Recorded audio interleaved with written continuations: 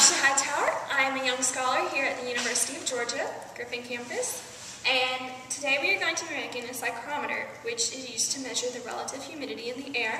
To do so, you need two alcohol-filled thermometers, some scissors, some room temperature water, which we have dyed blue, some masking tape, a two liter bottle of water, and a shoelace that should be really short or you will be trying to make the psychrometer for a very long time. First thing to do is to poke a hole in the two liter bottle of water. Be very careful and if you need to, get an adult to help you.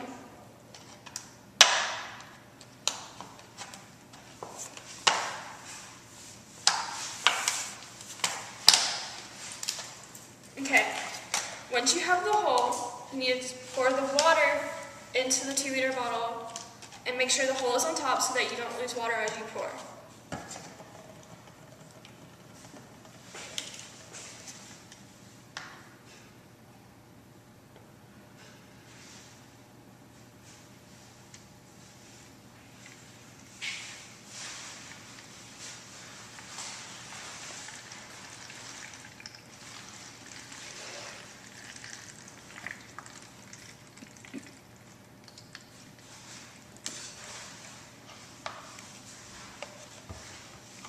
Now you take one of the bulbs, which will be the wet bulb, and you place the shoelace at the, on the end of the bulb so that it's covering the bottom.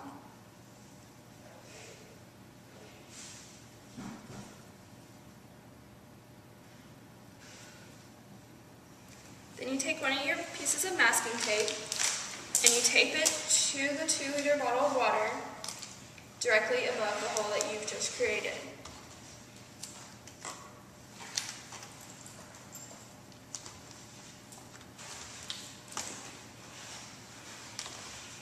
Next, you take the other thermometer, which will be your dry bulb, and you place it on the other side of the wet bulb.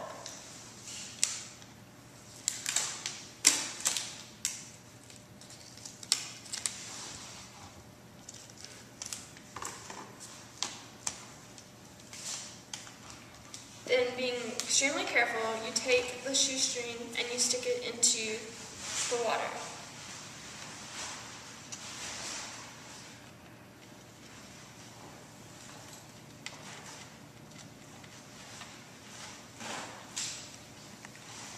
First, you take your initial readings,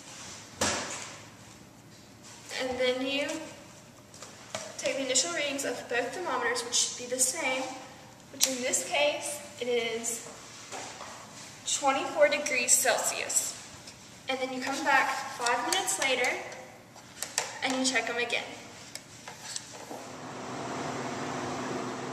Okay, after five minutes, you come back and you check both First, you check the dry bulb, which in this case is still 24 degrees Celsius.